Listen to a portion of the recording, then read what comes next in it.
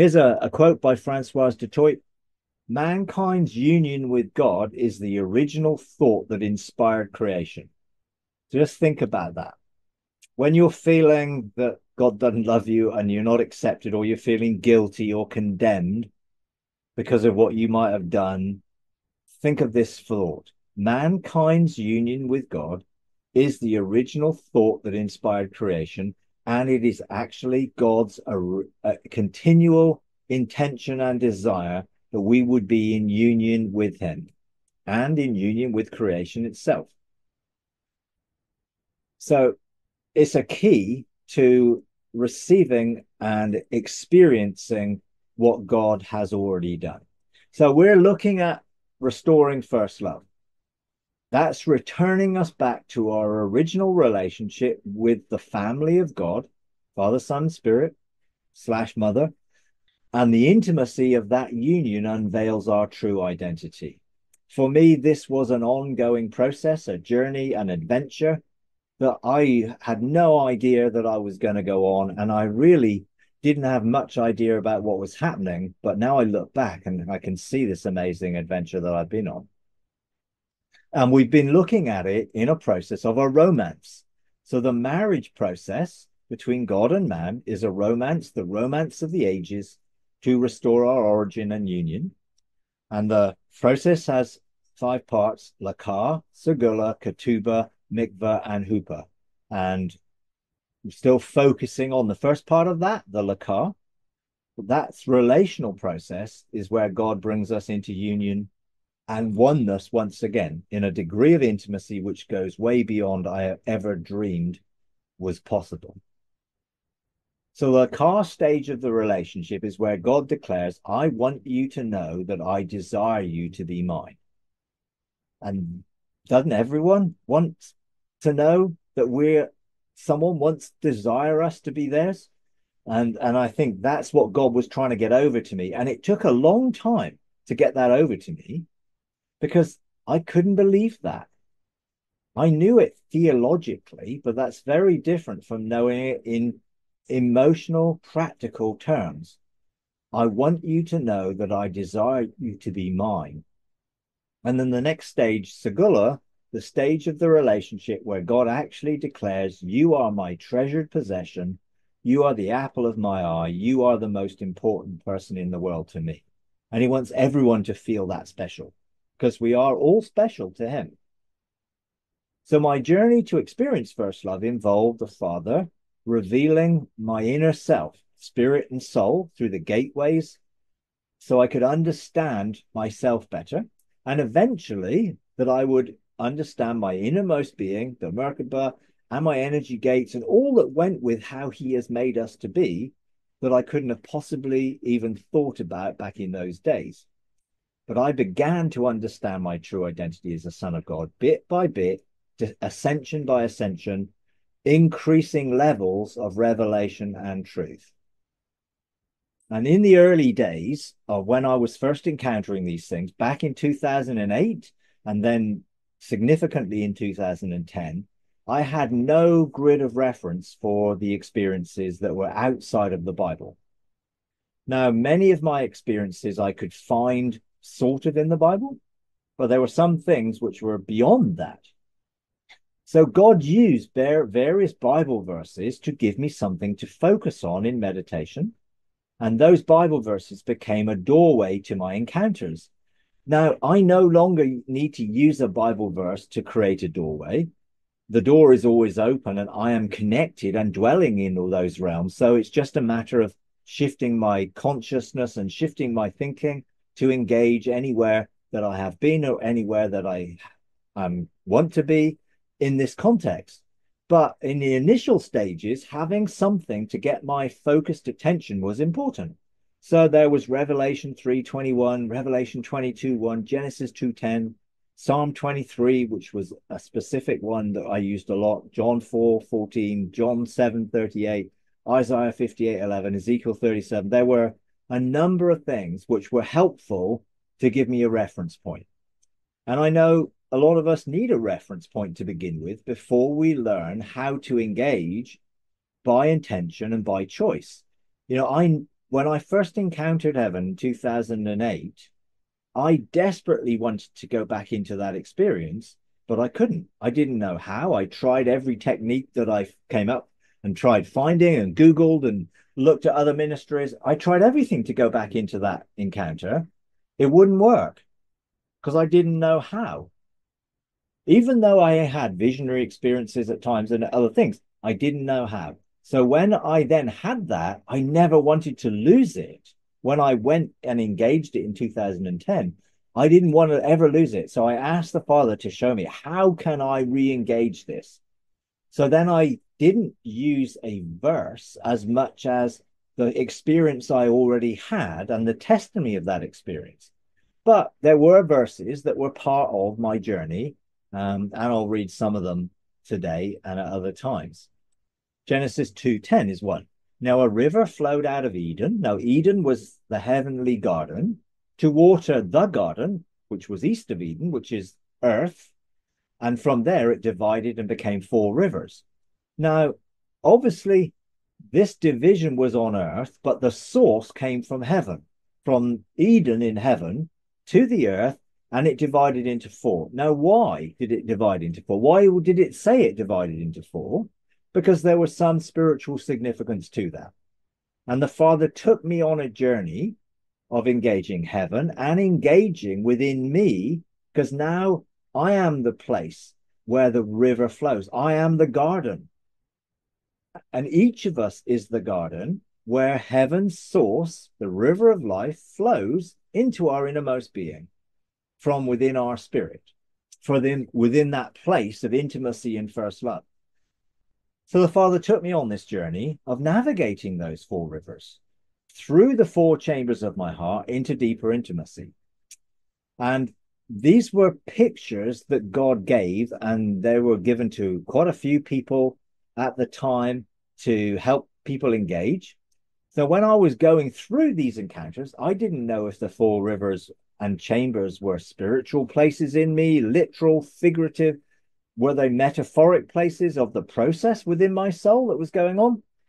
You know, I didn't really know. So I just went with it. You know, I didn't try to overanalyze it or try and figure it out or come up with a definitive. I just went with the experiences. The experiences were a blessing and they began to open up a whole different perspective. Now, looking back, I know that this was a progression that I was being led through. This was my metamorphosis back to my origin. I was being transformed and changed at a deepest level. So, on that journey through my heart, the Father restored my identity as a son in the intimacy of our relationship to discover true unconditional love. That was the Lakar. And that Lakar was multiple experiences. It wasn't just God looked in my eyes one day and says, I want you to know that I want you to be mine. You know, that would have been great. And he did that, but in different ways, because even if he said that to me, I doubt whether I would have fully embraced or understood it. So I went with the process that was going on and the deepening intimacy that took place that now I look back and I can see in that perspective. So my origin, my spirit's memory of who I am was restored and remapped onto my mind, both conscious and subconscious. Now, that took place probably in around 2015. So that was five years after my first encounter in heaven when I actually had the first encounter with my spirit's memory. God was leading me on that process all the way through, de- restoring first love to me, but it was too good to be true. And I think that's what a lot of people feel well, how can it be that God could love me unconditionally? Because everything we've been brought up is about conditional. And to experience unconditional love was something which was beyond what I was able to take on cognitively. But God gave me the experiences that began to change what I believed and what I knew to be true. So at the time, I was just following wherever God led. I didn't know where I was going, what each experience meant. Looking back, of course, now I can see the process that God was using to restore that first love that was taking place all the way through. But God knew what I needed to come into the full experience of that. And He took me on that journey. It wasn't an easy journey.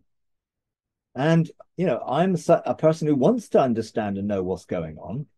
And I tried, but I realized the more I tried to figure it out, I was hindering what was going on. So I sort of gave up on that after a while, particularly after 2012, which is sort of one of the key things in this process where I eventually got into the the whole thing where God separated and reintegrated my soul and spirit.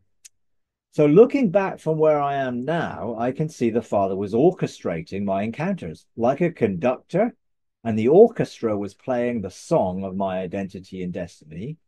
The Song of All Songs is a harmony of frequencies that entrained me to resonate with who I am.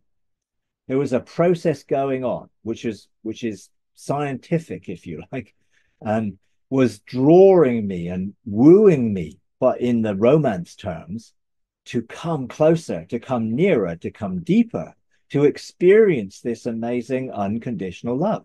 And I was being drawn and wooed into that.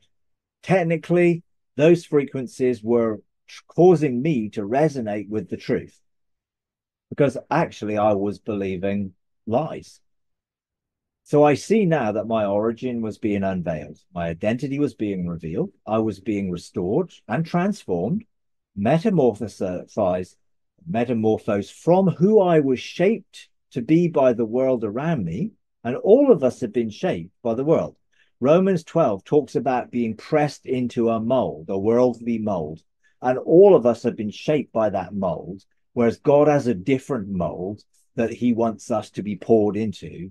And so we find our, our true shape, our true identity. Because uh, that metamorphosis process takes me from one shape into the shape who God said I am. So my encounters stretch me. They stretch my belief systems. They stretched me beyond, you know, and that was part of the process. It had to be a stretching. I couldn't stay in a comfort zone. I had to be stretched. I had to go further. I had to go deeper. I was always going beyond my cognitive knowledge. I was always going beyond my understanding.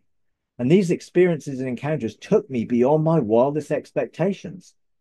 You know, you can only sort of think about something from where you where you sit, but this is going beyond what I could have ever even imagined or thought. And I journaled every experience. Now, those journals became the doorways that enabled me to go back into the encounters. God showed me that I could use the testimony of the previous experience, which I journaled and revisited, and then I entered into it again. And when I asked him, Well, how can I make sure that I can come back here every day? He just said, Well, use the door that was there yesterday, and you can go through the same doorway. And I began to choose by intention to engage every single day of my life. And bar four months, when I was in the dark cloud experience, I have engaged every single day of my life since then. Now I use Revelation 3:21 where Jesus was knocking on the door. I use that as the image that I could picture on the inside experience because my external experiences to start with were were not my doing. I was taken in a trance I was taken into those experiences. God took me there, but He wanted to show me that I could choose to have these experiences within me. Therefore, that verse was a key verse. So I chose to open the door of my first love gate every day. But that was just the beginning of my journey. That was amazing to find that there was a place in me that God dwelled and that I could open that door and let God fill my spirit, soul, being, and whole body rather than Him being contained in a small part of my spirit, I chose to open that gate every day. Now it's a state of being that I live continually in, but it was very helpful to picture Jesus knocking on a door. The handle was on my side and I opened it every day. That was my choice to say, Come in I welcome you to come and fill me, fill my spirit, fill my soul, fill my body, flow through me. Eventually, I actually found that I could go back through that gate and follow the river of life to Eden's heavenly garden and even to the Father's garden and many other places in that realm. Now, to start with, I was going up into that realm. So Jesus was a door, and let's say, like Bethel, at Bethel, you had Jacob with a gateway of heaven and a ladder going from earth to heaven, which you could go up into heaven through. And that was my initial experiences. And that was what I was doing every day. I was going up Jacob's ladder, effectively, or the stairway to heaven, if you prefer a song title. Um, and I was going up every day that route. But one day we was in a group encounter where I was leading a group into experiencing these things. So we were all encountering, and I was basically saying, look, picture a door. Jesus is open, is there. You open the door, you invite Jesus, and then you encounter God or the Father through that experience. And then we all shared various things that had happened. And one lady, she said, Oh, I went through the gate and I found myself in heaven. And I thought, why didn't I think about that? I never thought. Then then it struck me, well, that's where the flow comes from. That's where the river of life is. That's where Eden is. And if I am now a garden to be filled and flowing in that life, oh, it makes total sense. So I, next time I had an encounter, I went straight back through the door and I found myself in the river of life in the heavenly Eden. And it's it's funny these things happen. Sometimes you just don't think, and all of a sudden you get a ha-ha moment, the light comes on, and you thought, why didn't I think of that before? So I began to engage a different way, which was internal, that gave me access into that realm. So it was a connection that I had within me continually. So then Jesus or the Father, sometimes the Spirit, guided me. They helped me follow the river of life from heaven through my spirit into the garden of my heart. So I saw there was a flow. And then from the garden of my heart, following four rivers, four chambers, filling me and in bringing me on this process where I came into a restored place of identity in that all, I had this flow every day. I knew where I was going and I could take that journey. But the reverse journey was also true. I could start in my spirit, go through that gate, end up in Eden in heaven, and then engage all the things that were in that heavenly garden and beyond. So this was something which was two way and began to flow. And then I just had to think about which way I wanted to go and usually, what I would do is when I invited God's presence to come within me and I began to engage Father there or Jesus there, I would let Him guide me to where to go. And if I felt to go into the garden of my heart, that's where I went. If I felt to go back into Eden, that's where I went. Sometimes Father just walked there and I walked with him into those places. And what I began to discover was that I began to see a, a uniting in my soul and spirit. A union began to take place. But there was a limit to it. And that's where the separation and reintegration of my soul and spirit was still to come, which opened up a door that went way beyond what, again, what I could have possibly imagined or thought when I went through that process.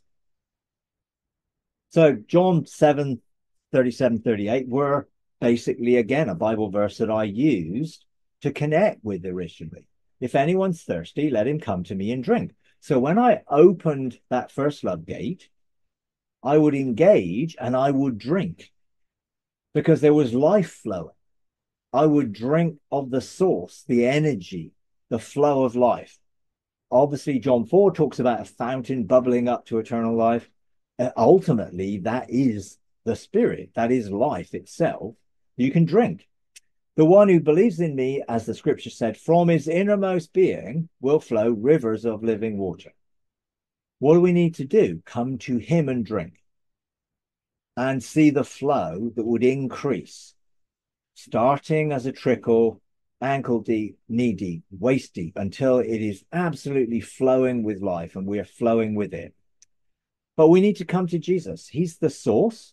That's where we find the abundant life that we've been promised. That's where we find true rest. Because again, Jesus said, Come to me, all those who are weary and burdened, and find rest. So, this is where life and rest are in the source. Let's not create our own source. Let's not draw from the source which we have created from the tree of the knowledge of good and evil. Let's draw from the source of life, the tree of life. So I had many Lakar and Segula experiences, encounters with God as Father and Spirit slash Mother, family. And this is what I've discovered. They're, they're family, they're relationship. So these experiences over many years revealed first love. They revealed unconditional love. They reveal my true identity and my true origin. And each experience added and built. So it increased and increased and increased. Now, the experiences were often in association with gardens or rivers. And those gardens and rivers were what I used to engage and engage within me because I saw myself as a garden. Isaiah 58 11, the Lord will continually guide you and satisfy your desire in scorched places.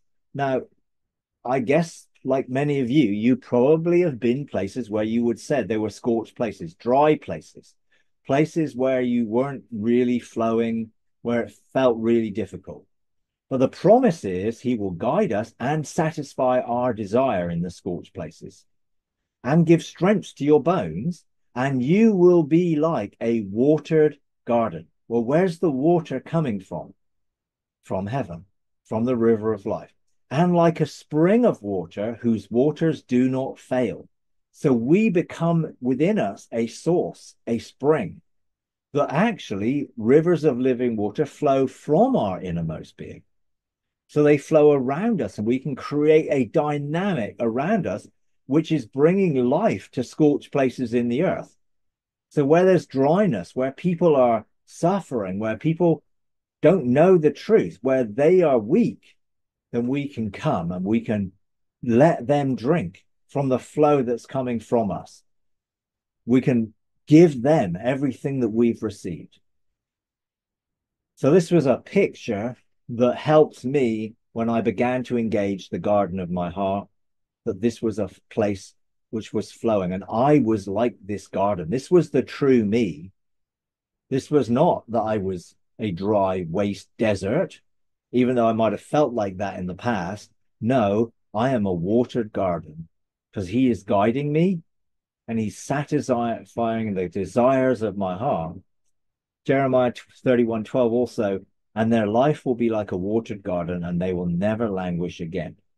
So again, this is a promise of who we would be when rivers of living water will be flowing within us again. And Romans 5 5 describes the love of God has been poured out within our hearts through the Holy Spirit who was given to us. And this is Paul's description of the same thing that Jesus was describing that the love of God is flowing in our hearts, is being poured out like a river. So we can continuously experience his love within. We just choose to engage.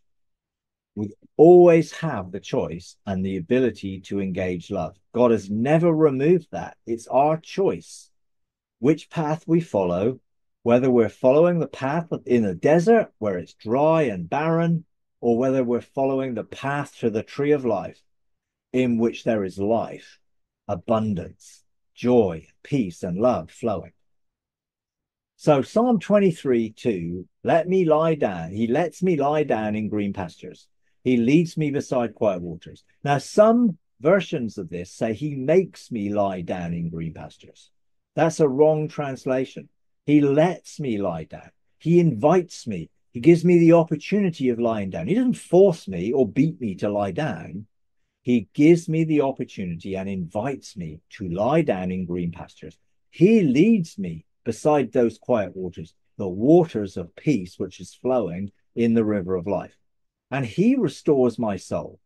I don't have to restore my own soul. I just have to lie down and let him, with the life that's flowing, restore my soul. He guides me in paths of righteousness. Where do I walk? The path of righteousness is the path of my true identity because I am the righteousness of God in Christ. I've always been the righteousness of God in Christ from his perspective, but he guides me into the true path that my life would take. You could say the path of righteousness is my destiny, and my destiny is my identity outworked for the sake of his name. Now, for the sake of his, what's his name? Love. So, for the sake of love, he lets me lie down in green pastures. He leads me beside quiet waters. He restores my soul. He guides me in paths of righteousness because he loves me. Because I'm made in his image, therefore, in his name, I am a son of God for the sake of love, which is so amazing. And so I would lie down in green pastures every day. Every time I went to sleep at night, I would engage lying down by choice in a green pasture by quiet waters so the shepherd could restore my soul while I slept. Because my soul rests, my body sleeps, and my spirit continues to be life and living and abundant. And I don't, my spirit doesn't need to sleep and doesn't sleep. So every night I would put my body to sleep by choosing to go into that place of rest. My spirit would, my spirit would engage heaven. I would lie down and I would make myself available for all the adventures that my spirit could have or all the things God might want me to do at night whilst my soul was being restored every day. And I still do this every night so I do this and I go to sleep. You know, very, very rarely am I asleep more than 30 seconds after I've done this because it's a safe place of rest in which I know I'm going to engage in a place of intimacy.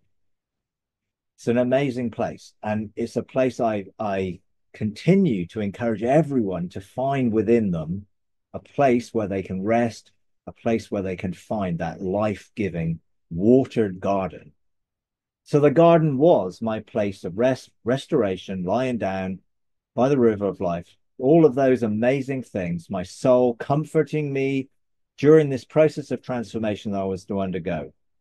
I learned to tend and cultivate and create the garden of my heart.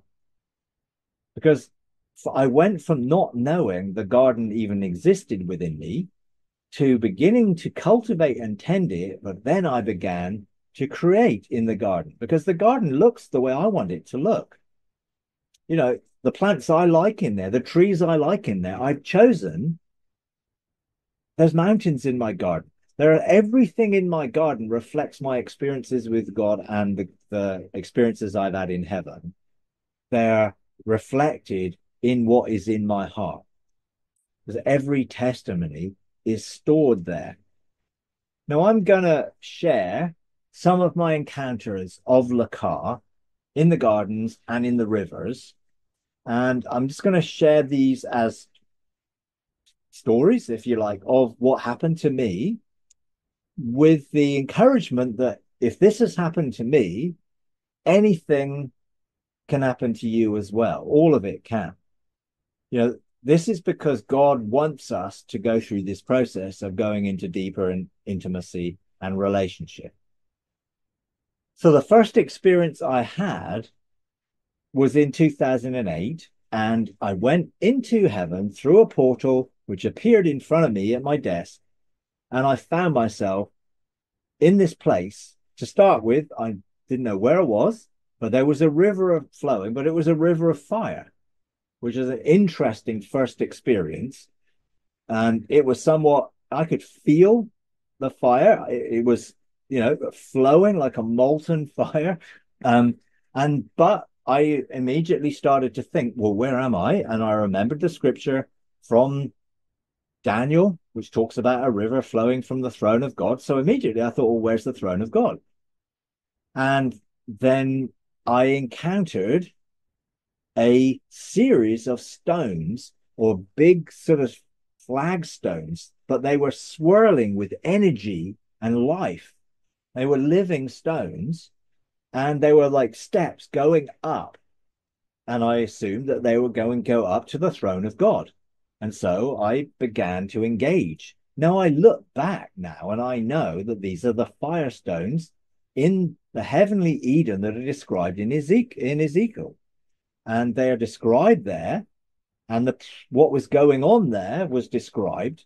But I went, my first experience was going to those firestones. And as soon as I stepped on the first stone, it was like nothing I'd ever felt before in my life. Now, when I got baptized in the Spirit, it was like liquid love was poured into me. And that was an amazing experience from someone who struggled emotionally and different things in my life. But this was beyond anything I'd ever experienced before. It's literally, I became one with the stone and I became enmeshed in the energy, sort of consumed with it. It was just amazing. I stepped on the stone and I became part of it.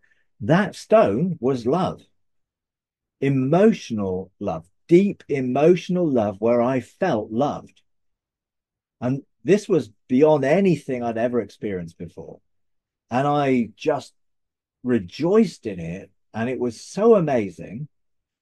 It was an overwhelming experience. And this experience was outside of normal time.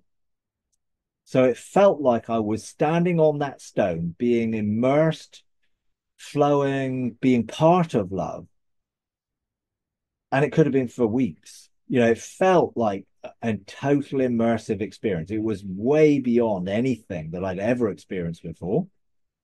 And eventually I managed to take a step to the next step, which was joy. And then, then I was immersed in joy at a level again I'd never experienced. This was emotional joy, not just the sort of the joy that's deep down in our hearts that we don't ever show or really feel. This is real. And it was a real sense of love and joy and peace. And this was all the fruit of the Spirit. And there were nine stones that went up to the throne of God. The first one was love. That set the pattern for all that revealed the true nature of God, because that was true unconditional love.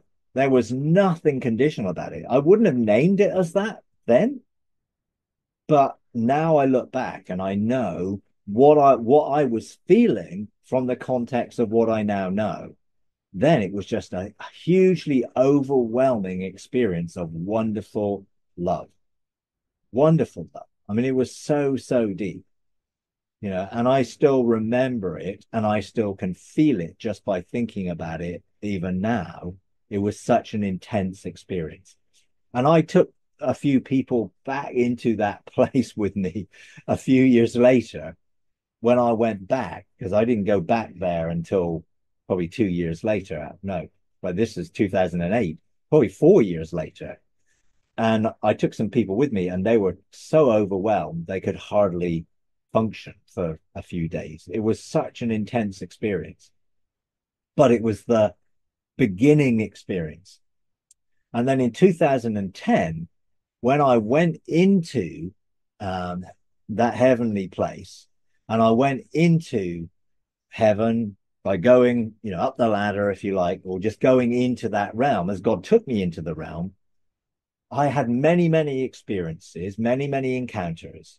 And then one day, the, the Father took me to the place, and there was a a little area of grass, probably about, I don't know, five or six feet of grass in a in an area probably a couple of square meters or a couple of square yards away, not very big at all. But there was a tree there and a little bench, and there was a swing in the tree. And the father encouraged me to sit in the swing, and he pushed me. And every time he pushed me, I felt love.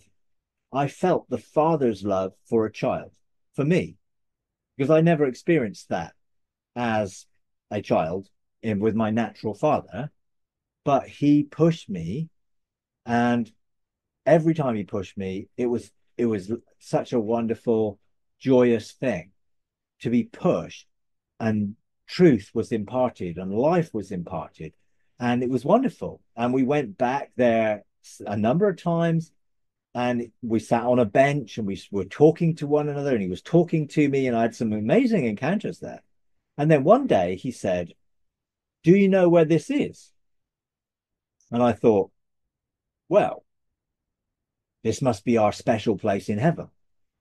And he said, Well, no, this is the garden of your heart. And I and I've I didn't know I had a garden. Where's the garden? And he said, Within you. We're within you right now, and you're experiencing me in the garden of your heart. And that is where I found Psalm 23. That is where I sat down, eventually realized that the river of life was flowing there. This garden, as I walked into the garden from this area, because I went back into it and I began to walk, as I walked, the garden expanded in front of me. It grew but the grass expanded out. And what I did was I began to tend and cultivate that garden because this is the garden of my heart. This is who I am. I am a well watered garden, but I just never did anything with it because I didn't know it existed. So I began to go there. Every day I would go into the garden of my heart. I would sort of see it expand and initially, I started cultivating it by planting seeds of testimony. So every time I had a testimony of experiencing God, whether it be in heaven, at my first love gate, anywhere else, I would take that seed and I would see it like a seed. I would dig a little hole by the river of life. I would plant the seed. I would take some handfuls of water and I would pour the water onto the seed, cover it up, and then I would speak it into life and it would grow immediately. And so that would be a, a tree with fruit on it immediately or a bush, depending on whatever it happened at the time. And I wasn't really at that point thinking about what it was going to look like, but eventually I did and I chose what it looked like. But initially it just grew and I was like, wow, this is amazing. There is a tree with fruit on it in the garden of my heart. And then I would take that fruit, eat a piece of the fruit figuratively, and I will be back into that experience, going deeper into it. And then as I began to share these testimonies with other people, it was like me taking a piece of that fruit off the tree and giving it to someone else and said, Here, taste and see that God is good. And people were then beginning to experience through activations and through encounters that I initially did with the my friends and small groups of people within the church, and, and then eventually going wider afield, I planted every testimony within my garden. So I have within my garden a whole forest of trees, all bearing fruit that I can eat of and I can give away all of the time because I have tended and I have cultivated that garden. And eventually I began to know that I could choose what was in the garden. And so I would choose a mountain range in the in the distance. I would choose waterfalls. I would choose areas of plants that I liked just by thinking about it and choosing that my garden would be filled with with life. And I've continued to do that. And my garden, I am that garden. That is my life. I am the testimony of my experiences with God. And they are beautiful experiences. But it didn't stop there. And every day I would open my first love gate. I would invite Father, Son, Spirit to engage me. And then I would say, Where are we going today? What are we going to do today? You know, and I began to find the places in heaven, the courts and the mountains in heaven, my thrones in heaven. And I got caught up with the kingdom and the authority I had there and with the court of angels and all of the amazing stuff. And I would be like, where are we going today? What are you going to show me today? And then one day, the father just hugged me. And he didn't say a thing.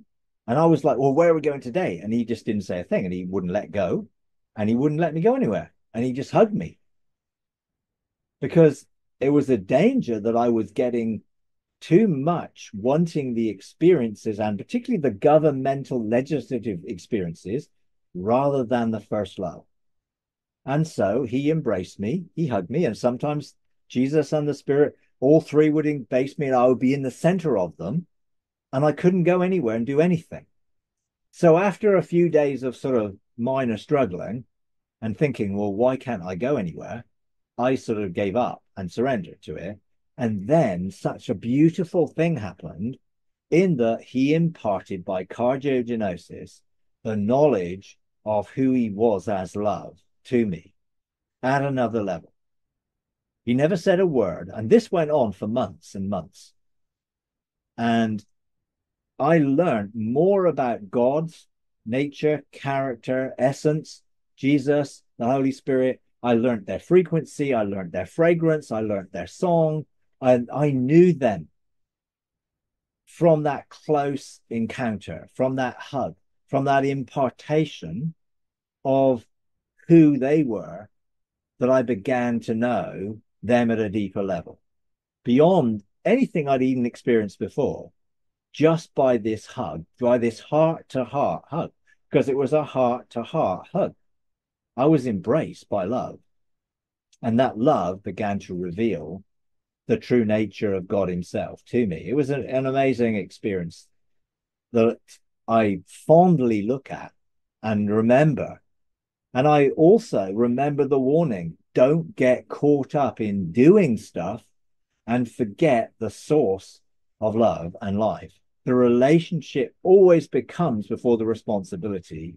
Relationship flows into everything else. But then uh, I then started to encounter the river of life, and I started to encounter the river of life in heaven. I found the river of life flowing through my first love gate and flowing through the garden of my heart. And I kept following that river. And I found there were things in the river which were life giving because it's the river of life after all.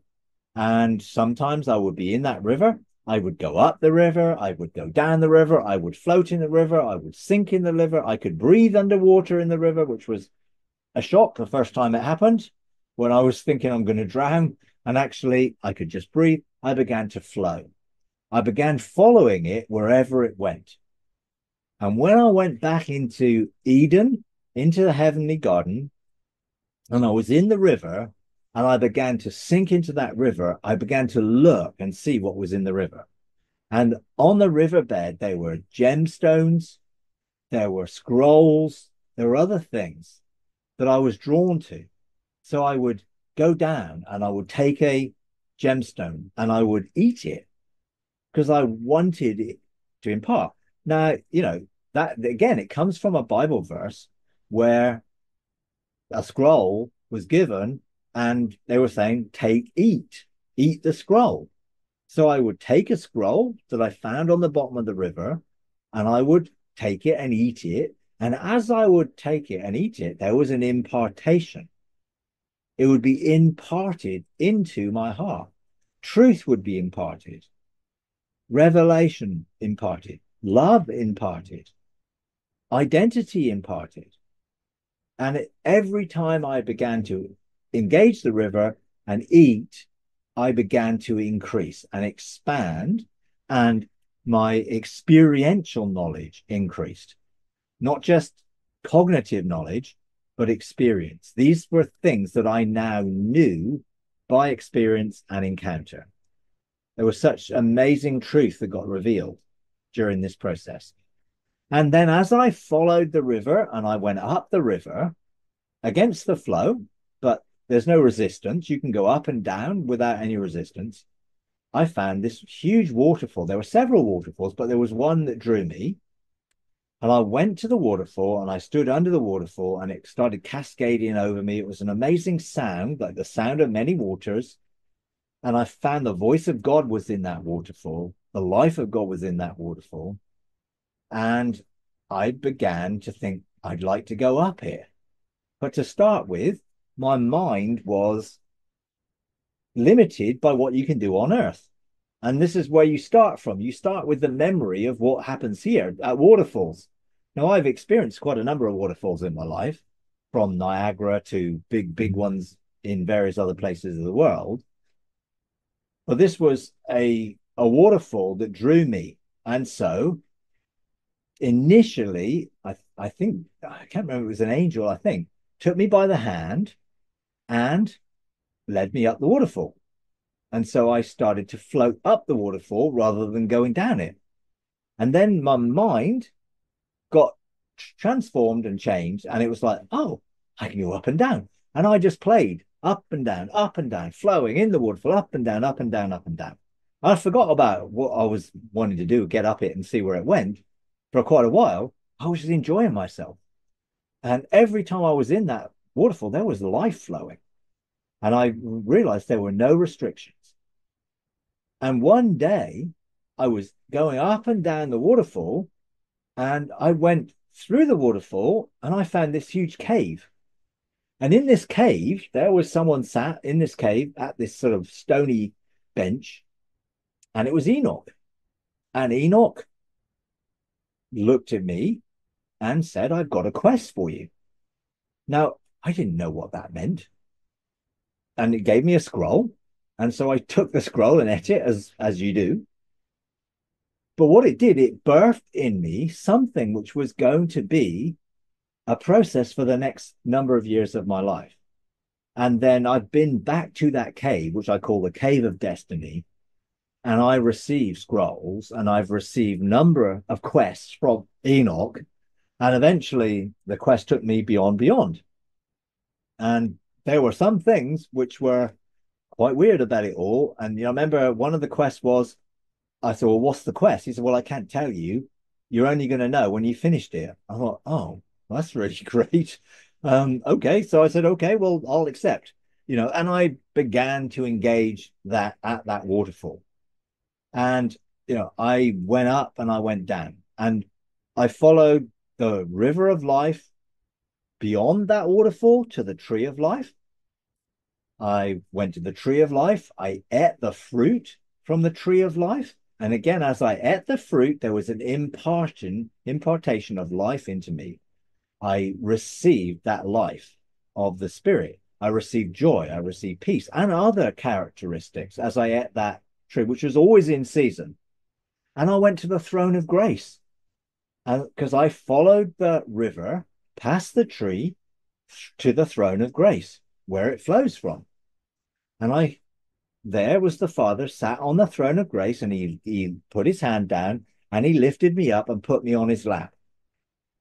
And I began to place my head on his chest.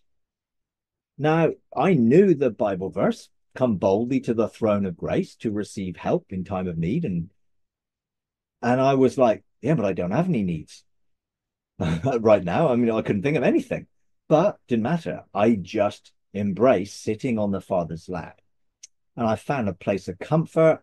I found this was a place of acceptance, of affirmation, of approval. His love again, affirming me uh, in that place. And then eventually there were some things that I was going through that I needed grace and help for and I would sit on the Father's lap and I would just unburden myself. And we can all do this. We can come boldly to the throne of grace, whatever the need in our life. And what I realized is I didn't need to figure out how I could do this or how I could answer this or how I could work this out. I just gave it to him. I cast all my burdens onto him, and his grace was sufficient for me to rest in his love and let him work. But I had to stop working for his grace to outwork. Because, like a lot of people, I try to fix things. I try and make it work. I try and understand what's going on and I try and put this into place or that into place. And to a degree, I could do that you know, I had a lot of experience in ministry. I had a lot of experience in ministering to people, a lot of experience of inner healing and ministry in my own life. So I had the knowledge and understanding and a lot of wisdom. But when I went there, I knew instinctively you can't use any of that here because he works all things together for good. So I had to let him work. So I would come and I would burden unburden myself and I would just let him work by going to sleep sometimes almost on his lap. And it was just an amazing sense again of his love that I began to trust him at a much deeper level because of what I felt and the affirmation and love that I received by sitting on his lap. And it was amazing. And one day I was in an encounter and I went to the waterfall again and I stood under it, as I often did, because I just loved waterfall cascading over me and the life cascading over me. And I was just under it, just really enjoying this life that was flowing over me. And all of a sudden, the river started to flow in multiple colors. And all of these colors started to come down over me. And I started to feel intense love the love that God felt for other people, not just for me. And I started to feel his love for those who were marginalized, those who were abused, those who are treated badly, those who are treated badly as children, those who have been hurt and rejected, and terrible things have happened to them in their lives. And I just felt God's amazing unconditional love, and I felt his compassion for them. And I was just, oh, you love people so much. You love those who are hurting. You love those who are going through these terrible things in their lives. You care for them. You want them to turn to you and receive that love and receive that care. And then all of a sudden, it was like all of these colors began to shift. And I began to feel God's unconditional love to all those who had hurt those people, the abusers, the traffickers, the rapists. I mean, just, and I just felt in my soul, I felt that that's, that can't be right. You can't love those people who've done these terrible things to these children of yours. And he, and he basically imparted, they're all my children, and I love all of them the same. And my my mind couldn't grasp that that could be true at that moment. But it kept pouring over me and I felt it. So I knew it was true. And my mind had to shift from its position of, well, some people deserve God's love. And, you know, to those people who do these terrible things, they don't. Now, that was a totally judgmental way of looking at it. And I was just being honest in feeling what I was feeling, but it changed my whole perspective. Because if God can love those people and does love those people, then what about me? What do I do to those people? Yeah, it's easy to love those who love you. It's easy to think, and you can love those who need love and who need your love. But those people need God's love. They need our love as well and it changed my whole perspective. So when I eventually began to engage people in the fire of God's love beyond death, I felt love for them. I felt compassion for them.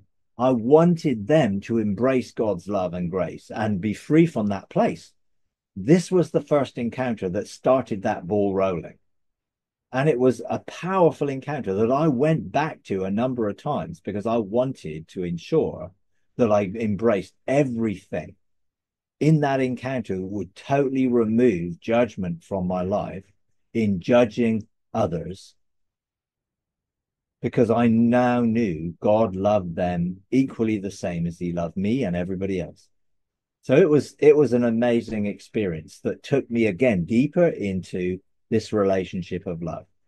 And I carried on following the tree of life, the water of life. I went, you know, to the tree of life and water. And one day I went to the Father's throne of grace and I sat on his lap. And the river was flowing and I was enjoying it. And he, he said to me, Do you want to see your scroll? And I thought, Oh, yeah. You know, no, he didn't he didn't say which scroll. He just said, Do you want to see your scroll? And I thought, oh, the scroll of my destiny, because people were all talking about scrolls of destiny and all that sort of stuff in those days. And I thought, oh, yeah. And so along came the spirit of the fear of the Lord with a scroll in his hand. Now, I'd not met the spirit of the fear of the Lord at until this point. I'd met all the others, all the other seven spirits of God. I'd met them, wisdom and knowledge and understanding, and you know, all of them. I met all of them, and I'd not met the spirit of the fear Lord. And he had the scroll, and he beckoned me to come off the Father's lap, and I was thinking, well, I want to go. Um, I'm not sure because it seemed quite intense, but I I went because I felt the Father wanted me to go. So I went, and he took me past along the river, along this path, and there was this opening like a big cave, looked like almost like a mouth of a lion, and I suddenly start to feel scared, and I started to feel like my soul was really scared to go in there. But he beckoned me in and he gave me the scroll and he left me to walk in. So I walked in and it was dark and there was in the distance, there was like glowing. And so I walked with the scroll through this place and I came to a fire that was burning, the consuming fire of God as a consuming fire. And I came to it and I felt and this is a feeling that came, a thought in my mind. Do you want me to open the seals on the scroll so you can see it? And at this point, I was like really quaking. I was like, I thought, I'm, I'm I don't know if I'm ever going to come out of here if this scroll opens. But I said yes, and it opened, and the scroll opened, and on the scroll there was gold, silver, precious stones, and lots of wood, hay, and straw.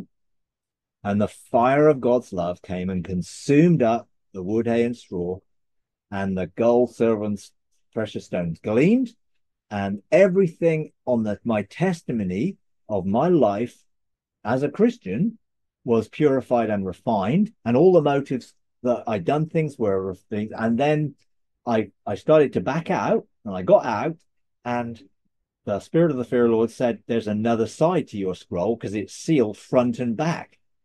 And I thought, oh, um, okay. So I went back in. This time, not quite as scared, but it was an intense experience. I go back in. He says, Do you want the scroll seals to be released? And I saw the other side of the scroll, which was an intensely moving experience. And what I felt was that the fire of God's from his eyes, and they were, I could see his eyes burning and just burning eyes of fire, and the fire consumed. There was no guilt, there was no shame, there was no condemnation of anything I'd done with the wrong motive, anything I'd missed, every opportunity I'd missed, all the regrets in, in my life that I saw, and all of the wood, hay, and straw there was not one ounce of negativity. There was just God's love showing me that none of that really mattered. He consumed it with his love. And again, I felt the love of God in such a way that it made me trust him at an even greater level. It was like, well, there's nothing in my life that you don't know and you've just consumed it all with love. And it really did bless me to a, a, huge degree and set me up for what was to happen in the future of you know, trusting him for being good and for loving me. Now, after that experience, the spirit of the fear of the Lord took me to another waterfall. This time I was at the top of the waterfall. And I couldn't even see the bottom. But he beckoned me to step off it. Now, I had experiences, obviously, of going up and down waterfalls, so I wasn't afraid of it, but I didn't know where it went. So I just stepped off and I went down this waterfall and I ended up in the Father's garden. First time I'd been in the Father's garden. This is different from Eden. It's part of Eden, but it's a special area within the Father's garden that when I was in, there was everything was still. There was like nothing was moving. It was it was amazing. But I was a little bit like, well, where's the father? Where is he? You know, and I couldn't see him. But then the father came and he just said, rest. And so what I learned to do there was to be at complete rest. And so as I learned, and I would go and lie down in there, I started to float in the air or whatever the atmosphere is on the, I don't know, it's not really air, um, but I floated. So I wasn't lying on the ground, I was floating. And as I floated, I remember thinking, wow, this is good. And I started to rock and move. And the father just looked at me, and the glance of his eye was, I just knew he'd be still. And so I just completely stopped moving, not just physically, but in every way. It was like I just come here to be me within the context of the Father. And I learned to be at complete rest. And one day I was at such rest and such peace that I was floating that I spaghettified. It literally, every particle of my whole being, just all of the things that held it together were just released. And I just went out and I became part of creation or I touched creation at a, I don't know, subatomic level, whatever it was. I felt creation and I felt creation's groan and I felt the longing of creation for sonship. I felt it and I knew creation wanted us to love it and to engage with it. And it was waiting for the revealing of our sonship. That was one of quite a number of experiences I had with creation like that. It was the first one, and I remember it intensely because it showed me God's love for creation and that God had made creation for us to love. And so I experienced that, and that again set me off on another path, um, which later on I went into in deeper and deeper ways. And then I experienced under the waterfall in the Father's garden a pool. And I, in there, you just feel, well, I'm not supposed to do anything here, but I felt it was okay to just go in the water and float. So I floated in the water and I sank. And I sank right down, right down. And the water underneath seemed to have a slight current. And it took me up this tunnel. And uh, where I was going, and that tunnel, and this, I mean, this was a long time ago now, but that was my first experience of going into the eternal now. That tunnel took me from the Father's garden into the eternal now of the perichoresis of God in relationship. And I went into the eternal now, and it completely, I was completely discombobulated. My mind could not contain, it was not capable of what it was in then, the state my mind was in then, you know, unrenewed and and whatever. I couldn't embrace it. So I I realized I had to engage it in the spirit. And so I started to engage it spiritually.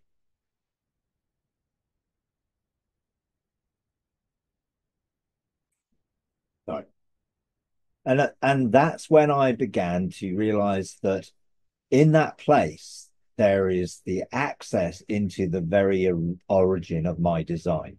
First time I experienced it was there. It was again intense. I didn't, I couldn't have put it into words. Even now, I struggle to put it into words. But it was a, an amazing experience. And it again took me deeper into who I am, who God is, and opened up a whole different realm of time, going back in time, all of those things from that experience. And eventually, you know, I followed the river of life to beyond, beyond, where I found the gateways or the doorways into other dimensions and ante rooms and other things. Now, all of these experiences are by following the path to the source. I was drawn to the source. You know, they're all amazing experiences, and I won't want you just to be caught up in the experience. It's what the experience was doing. I was drawn to the lakar, to the romance, to the intimacy that the Father was orchestrating in preparing my life to go deeper and deeper into this reality. And Revelation 22 1, he showed me a river of the water of life, crystal, clear as crystal, coming from the throne of God and the Lamb. In the middle of its street, on either side of the river, was the tree of life. And that verse again became a doorway that I used to encounter the river, the tree of life, the throne, the pathway beside the river that I would walk on. You know, these are all absolutely amazing things. You know, so the deeper I've gone in my relationship with the Father, the more I've come to know the Father's heart. The Father's heart has two real major priorities the restoration of our sonship and the restoration of all things. And next time I'll share some of my stories, journals, and conversations that the Father had with me relating to our sonship, restoration, and our origin. And from there, you know, we can go deeper and deeper into that experience. When God starts to reveal what there is beyond for us to experience, what there is to go deeper into his love, into this amazing place of joy and peace and intimacy. Yeah, it is it is absolutely amazing. Now I'm gonna I'm gonna finish there and we'll go into an activation and maybe we'll go into an activation where we can engage the river of life or you can you can go wherever God takes you to go. Um, but ultimately, if we're going to experience first love, we have to abandon our soul into the trust of God who loves us unconditionally. We cannot maintain control and we can't do it our own way. We have to let Him do it His way. Let Him orchestrate the journey. Let Him direct that journey for you. Don't try and run ahead walk with him, follow his lead. When there's time that you need to get out the boat and sink into that unconditional love, when there's time you need to get into the river or you need to embrace the throne of grace, just allow him to lead you on that and open the door to those experiences. And you know, when you have an encounter, we're, we're going to do this encounter, but I want you to be clear that you can go wherever the Father leads you into whatever the experience the Father wants you to have. I'm just going to lead the exercise to open the door for you to have the experiences. You don't have to follow where I'm going or what I suggest. Be open to be led and to flow wherever the Father wants you to, to go and whatever He wants to show you and how much He wants that love. But whenever you have an experience, coming to a place of love is the key to start learn how to meditate. You might want to use music to meditate. You can use different breathing things to meditate. But ultimately, it is becoming still so that the distractions that may be in the way just dis- evaporate and you begin to enter in. So I'd encourage you now just to get, get comfortable, close your eyes, come to a place of rest, begin to Fix your thoughts upon engaging with God as Father or Jesus as your friend, brother, and begin to slow down your breathing. Breathe deeply. Breathe deeply through your nose and hold it and slowly breathe it out. And breathe in deeply and slowly breathe out. And as you're breathing in, and as you're breathing out,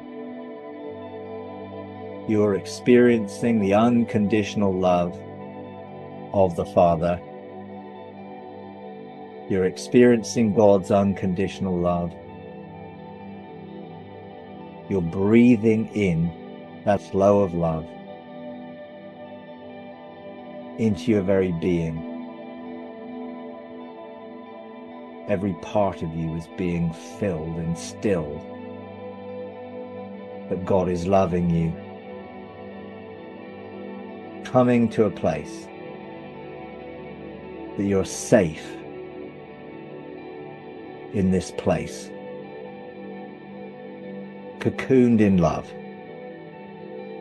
This is the place where you can abandon yourself by figuratively getting out of the boat by letting go, by sinking into that vast ocean of unconditional love.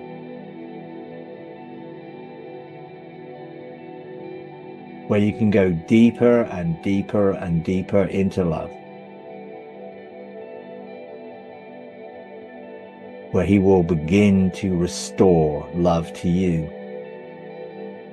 His relationship with you. You're in that safe place. Come and choose that place of surrender right now. Spend a few minutes in that place where you're just sinking into love.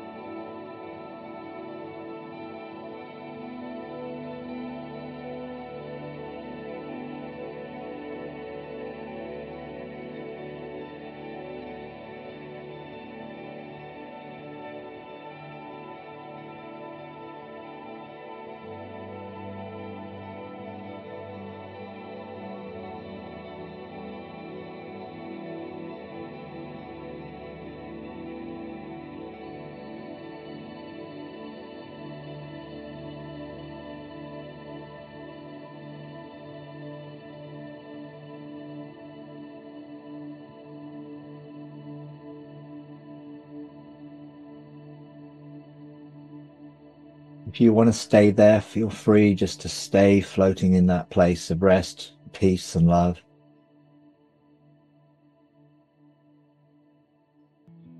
But if you want to go further, I encourage you just to fix your thoughts now on engaging the Father face to face.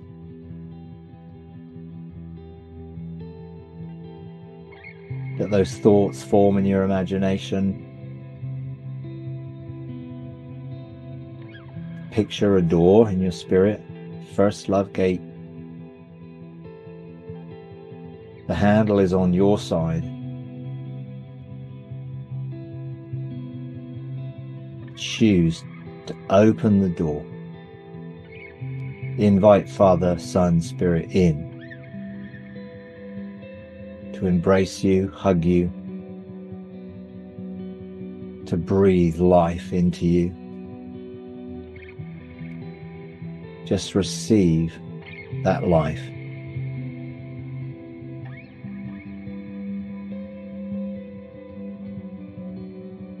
As He loves you and tells you He loves you, He loves you, I love you, I love you, I love you.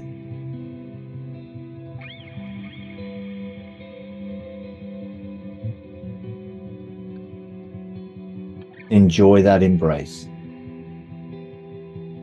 heart to heart, receive the impartation of his heart of love to you.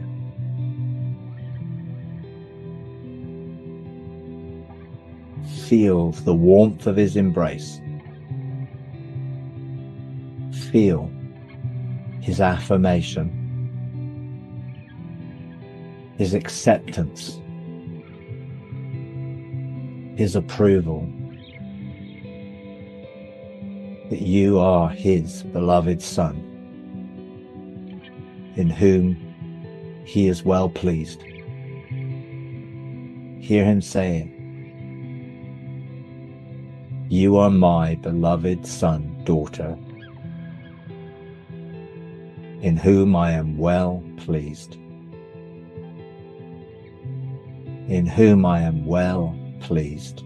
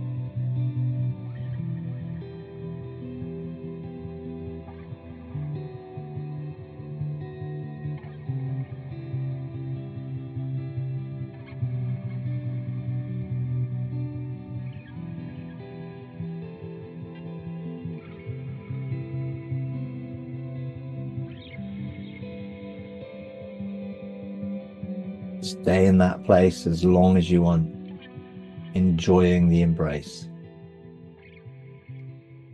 If you'd like to go from that place into Eden, following the flow of the river, you can ask the Father to take you. The door is open behind you, you've opened it. You can step back through that door. The river is flowing. Get in the river and let the river take you up into the realm of heaven.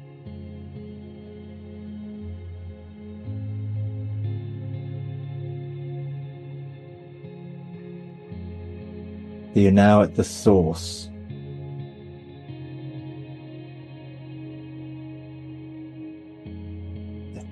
Heavenly flow. You're in the river of life.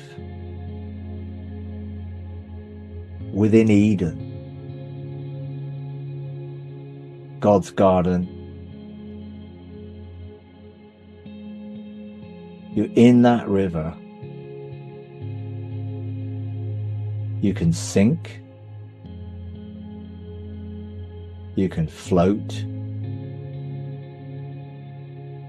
You can drink in the water.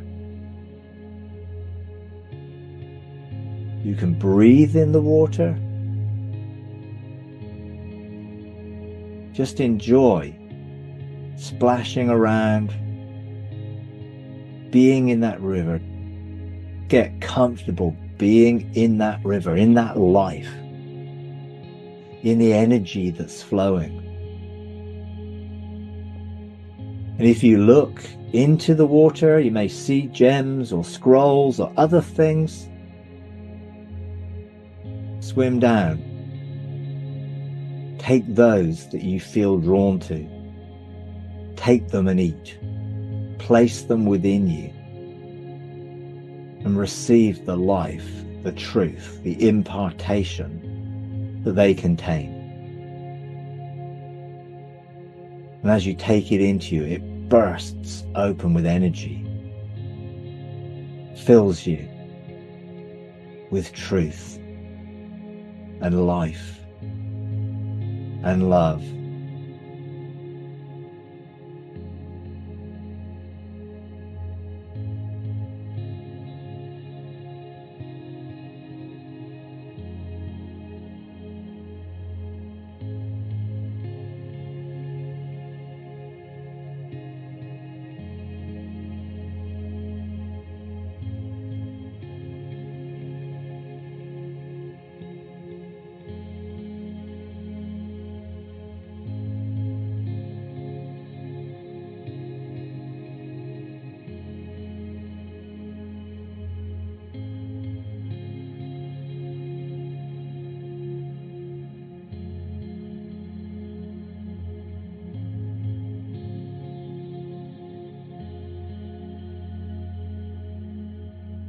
Enjoying there, you can just stay there.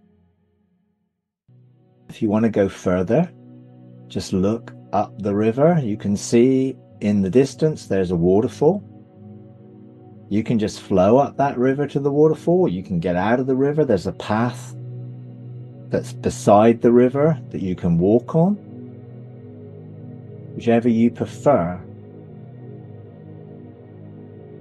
Look to that waterfall. The path will take you under the waterfall. The river goes into the waterfall. Just go to the waterfall.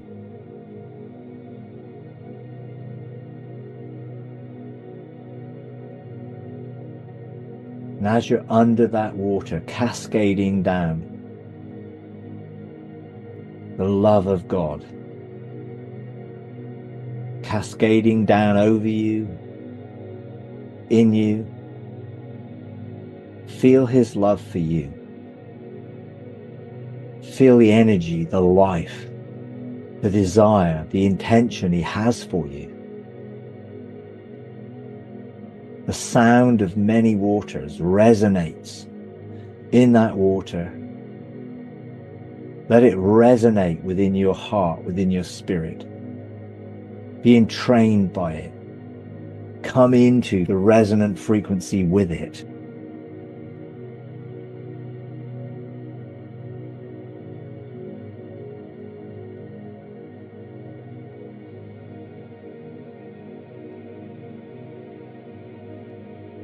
God loves all equally the same. As you feel God's love for you, feel God's love for others. Feel His love, His compassion for you. Feel His love for others and feel the inspiration that you can love others the way He loves you. Receive how He loves you to empower you to love others. Anyone comes to mind that you struggle to love, anyone that may have hurt you, rejected you, abandoned you, abused you, anyone that you struggle to love. Receive God's love and release God's love to them by choosing to forgive them and release them if you've not done that before. Release what you freely received.